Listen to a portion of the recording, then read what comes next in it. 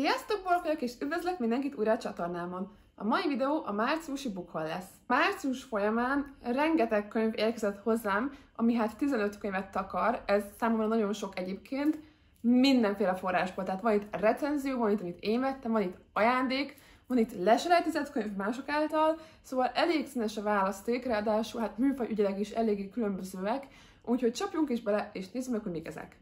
Megpróbálok időrendi sorrendben menni, de nem ígérem, hogy sikerülni fog végig. Az első az az égi hivatalnak áldásának az első része.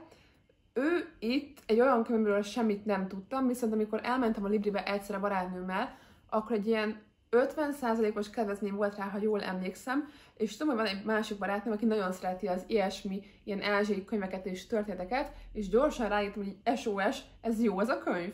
És azt mondta, hogy igen, nagyon jó, vedd meg, vedd meg, vedd meg, úgyhogy megvettem, és hazajöttem, és egyébként olyan rettentő jók az értékelései, tehát ilyen 90%-on van, úgyhogy kíváncsi leszek rá.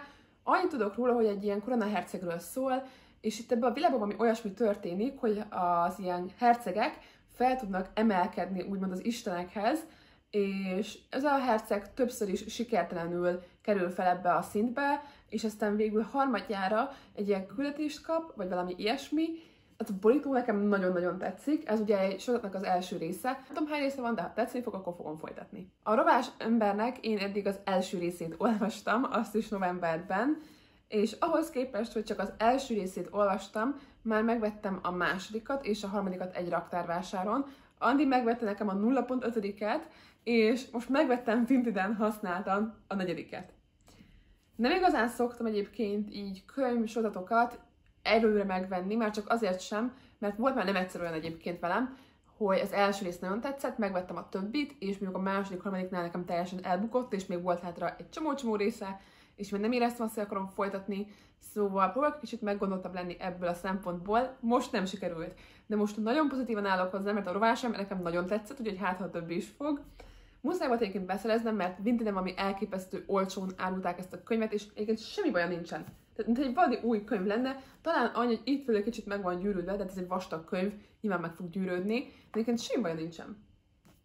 A rovásember egyébként egy grimdark történet, ami egy olyan világban játszódik, ahol éjszakánként az emberek démonok vadásznak, és hát ezek ellen meg lehet lepődni, rovásokkal védekeznek. Nekem az első rész nagyon tetszett, van belőle Andi egy kis kibeszélünk Instagramon, illetve van egy értékelő videóm, amiben szózétek róla, majd le fogom a leírásba.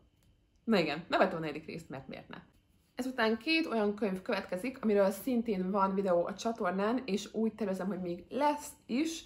Ezek ilyen könyvolyképzős rendelések voltak a partnerkupon által, majd a csomagbontós videót le fogom linkelni a leírásba, tehát azt tervezem, hogy el is olvastam őket, utána még lesz egy ilyen értékelés is egyben. Mindkettő vöröspöttyös könyv, az első egy magyar nyelvű, Szabó Krisztinától, az Ellopott kívánság. Őt már elkezdtem olvasni, Anni egyébként nagyon sokat ajánlotta nekem, és hát elképesztően kíváncsi vagyok rá, én az ilyen sivatagos történeteket alapból nagyon szeretem, és régen olvastam már ebből egy igazán jót, úgyhogy itt az idő erre, eddig mindenki csak dicséri, úgyhogy nagyon pozitívan állok ehhez is. Nagyon szép ez a könyv egyébként, őt már elkezdtem olvasni. A másik könyv pedig, ha jól tudom, egy német szerzőnek a könyve, ez pedig Kerstingiertől a Ne felejts. Valamiért engem nagyon zavar, hogy nincs kiírva rendesen egy szóban a cím. Ott egy galamb. Igen. Még egy. Három is. Nagyon durva. Rendszeresen arra kerülünk, hogy mekeg Ori egyébként. Igen? Ja. Szóval, visszatérve a könyvhöz, tehát nem egy ember volt már, aki úgy jött be ebbe a lakásba. Mondanám, hogy megvárjuk, de nem fogja abba hagyni, tehát na mindegy. Nem egy ember jött be úgy a lakásba, hogy valahova ez a könyv le volt rakva, ahol látható volt a címe, és mindenki az a viccelődött, hogy haha, ne felejts. Ori, Ori! Nem tudom, belehallatszódik, de nagyon vicces. Nem tudom, ennek lenne egyébként jelentősége a könyvbe. Kétlem, kétlem, hogy ennek lenne bármilyen jelentőség a könyv, hogy így van leírva. Lehet van benne egy ilyen titkos világ, ami a ne felejts. Vagy csak én vagyok túlságosan pozitívan hozzáálló megint. Nekem vannak túl sok elvárásaim. Anyways, őt is el fogom olvasni, és az elapott kívánságot is, és lesz róluk egy értékelő a csatornán. Elvileg. Aztán érkezett hozzám három recenzió, amiről szintén lesz videó a csatornán, jelenleg ezt a videót vágom meg, úgyis vlogban elolvastam mind a hármat. Ezek a Manó és Menő könyvektől jöttek hozzám, amit itt is nagyon szépen köszönök. Az első az a Mindketten meghalnak a végén Adam Silverától, ami egy elképesztően népszerű könyv, rengetegen dicsérték, nagyon fel van hype éppen ezért eddig nem is nagyon mertem elolvasni, de most megtettem, úgyhogy ha kíváncsiak lesztek a véleményemre, vagy a másik kettőről a véleményemre, ott lesz róla a videó a leírásban, ha már kikerül a csatornára. És ez egy nagyon szép megjelenésű könyv. Engem már ez egyébként lenyugtott, hogy milyen jól néz ki, és hogy milyen jó kis nagy alakú, és ilyen nagybetűkkel van írva, tehát gyorsan lehet haladni. Ő az egyik. Itt van még Louis stowell a Loki, egy büntibe került Isten naplója. Ebben a történetben Loki hát megint csak rosszat csinált Asgardban, és Odin leküldte az emberek közé egy 11 éves fiú formájában, hogy ott iskolába járva és egy ilyen családba beépülve igazából tanuljon tiszteletet, és adott neki egy naplót, amiben írnia kell az eseményeket, és ez a napló, hogyha hazudik, rögtön kiavítja, úgyhogy hát csak a színtiszta igazat tudja leírni a saját érzé... Ori! Csak a színtiszta igazat tudja leírni a saját érzéseiről, ráadásul még ilyen erénypontokat is gyűjtenie kell, ha nem gyűjt össze, akkor bizony Ori végre megérkezett, hát már nagyon vártuk, kicsikém, a fél videót ki kell miattad vágni, mert te mekektél. Mi volt ezzel a cél? És mindig kifelé néz. Ori galambfüggő vagy, ezzel csinálni kell valamit, el fogunk vinni egy gyűlésre. Ja.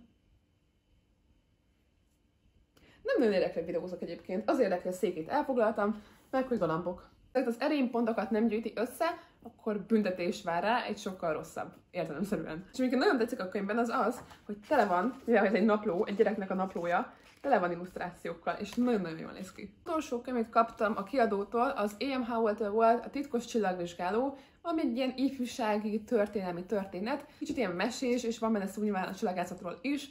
Őt is elolvastam, kis... igen. Ezt nem bírom. Őt is elolvastam, a borítója nekem nagyon tetszik egyébként. Nagyon szép.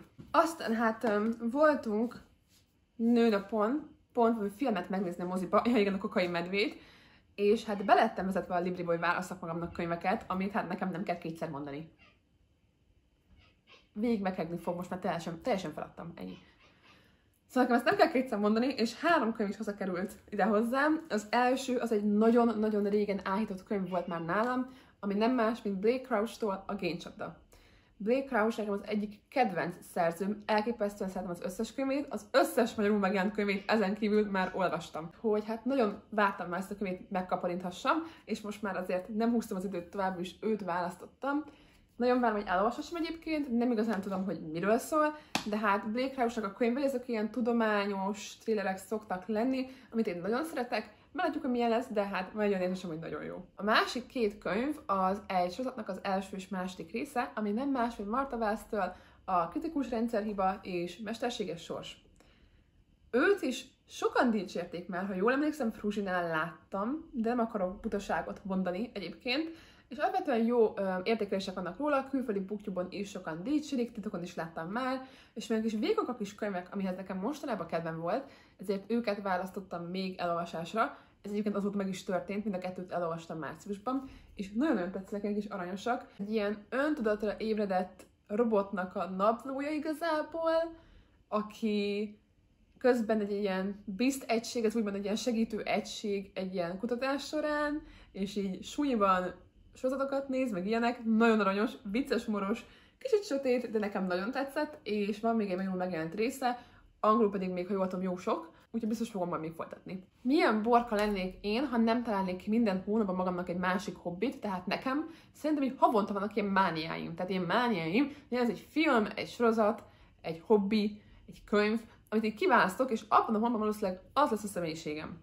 Mert ez teljesen normális, nem? És akkor, hát már egy jó ideje fogalmazódott meg bennem, hogy én horgolni akarok nagyon cuki, nagyon cuki állatkákat. Mert láttam TikTokon, hogy milyen cukikat lehet csinálni, és én is csatlakozni akarok, és én is csinálni akarok ilyet. Tudok horgolni? Nem.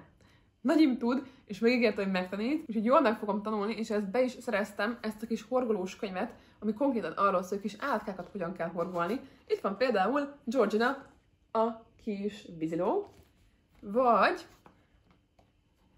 Douglas, a kis boci. Ez egyébként nehézségi fokozat alapján van összeállítva, a végén van a hármas szintű, azaz a legnehezebb horgolások, az elején pedig a legkönnyebbek, mint például Austin, a Renaceros. Imádom ezt a annyira aranyosak a képek, nem mindegy. És hát ilyeneket akarok megtanulni horgolni, mert van egy csomó-csomó olyan időm mostanában, amikor nincs netem, és sokat kell várnom. És akkor így előkapnám, és horgolgatnék, és el tudom képzelni, hogy ez így tökre működhetne, majd meglátjuk, mennyire vagyok eléggé ügyes hozzá, de hát ez egy tök jó hobbi lehet, meg ki is tudnak kapcsolni, úgyhogy meglátjuk, hogy fog-e sikerülni. Szurkoljatok! Még négy könyv van nálam. A legjobb barátnőmmel van egy ilyen szokásunk, hogyha valamelyikünk könyveket se lehet ez a polcáról, akkor mielőtt bevinnénk a könyvtárba odaadni, vagy odaadnánk másnak, vagy eladnánk, megkezdjük egymást, hogy kellene neki valamelyik könyv. És most is így történt, a legjobb barátnőm pont selejtezett, négy könyv került hozzám tőle, kezdjük a fekete levesnek, mert els próbáltam olvasni, de nem tudtam, félbehagytam, mert nagyon nem tetszett. Ez Terry Fisher-től a kihasznált alkalom. Ez itt egy elképesztően, elképesztően idegesítő lányról szól, akinek az ex barátja um, elvesztette az emlékezetét, és gyakorlatilag így próbálja újra befűzni, mikor amúgy van barátnője, sőt, mennyasszonya a fiúnak. Itt az összes karakter, ami elképesztően idegesítő, kibírhatatlan, ez a könyv nekem nagyon nem tetszett, nem tudtam befejezni, úgy a feléig olvastam el és feladtam. Ilyen még idén nem volt, és nem is szeretek felvenni könyveket, de ha nem bírom, nem bírom. Úgyhogy őt nem fejeztem be. Amúgy eltudottam volna, mert amikor mondtam a barátnak, hogy őt kérem, röhögött rajtam, hogy hát igen, ez rossz lesz, úgyhogy nem tudom, mire számítottam. A másik könyv, amit viszont ajánlott nekem, az a Patrick Melrose Volume 1, ami egy három történetet tartalmazó ilyen válogatás egy sorozatból, a Patrick Melrose sorozatból, Azért adta nekem ezt a könyvet, mert neki megvan magyarul, és az angolt így nekem adta. Ha jól tudom, ebből van film, eléggé egyértelmű lenne, hogy akkor Benedict Cumberbatch játszik benne. Kíváncsi vagyok rá, szóval egy ilyen drogfüggő, vagy gyógyszerfüggő férfiról szól, aki New Yorkba költözik, meg aztán egy újabb helyre róla szól, és hogy ő portizik, meg ilyenek. Egy könyv, amiről semmit nem tudok, a végtelen napok. Rengeteget láttam mindenhol, azt mondta a legjobb barátom, akitől kaptam, hogy nem olyan rossz. Ez egy ilyen egészen régi vörösbötös könyv, semmit nem tudok róla, de itt van nálam, ha valaki olvasta, ide kommentbe, hogy neki hogy tetszett. Az utolsó könyv pedig, amit kaptam tőle, az Donna a titkos történet.